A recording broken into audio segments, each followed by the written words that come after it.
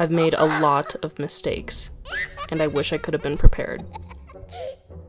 People always talk about what they wish they could tell their younger self, but I just think a suitcase would be better.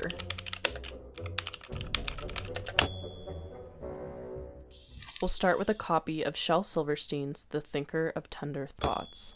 She'll grow up learning not to kill bugs and to save every piece of literal garbage with mm. sentimental value in it.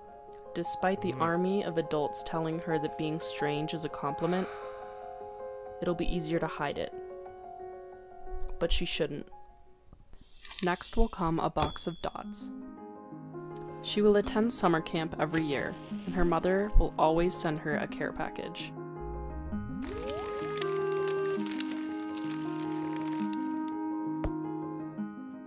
Despite the fact that she'll hate dots, her mom will make sure to send them anyway.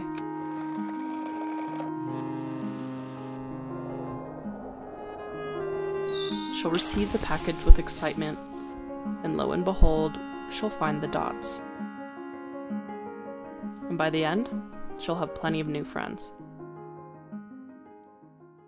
Next, she will get a sachet of lavender. She'll start feeling anxious at a young age. It'll feel like she's drowning. Fears will accumulate with age, but lavender will always be there to diffuse the situation. How to Fix a Broken Heart The Manual. Many will come along in her time, but three will catch her eye. the Brit, Greetings. the business bitch, and the dirtbag. Time will stop for a moment, and anything will feel like everything.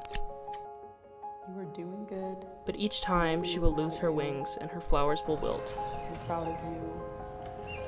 until she remembers she's the only one who can tend to them. have a lot of love to give. A mixtape, to know exactly what to listen to at exactly the right time.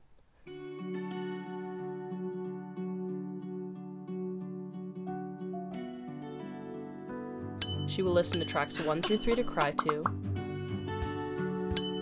tracks 4 through 6 to dance to, tracks 7 through 9 to break up to, tracks 10 through 12 to make up to, 13 through 14 for inspiration, and 15 through 17 for panic attacks.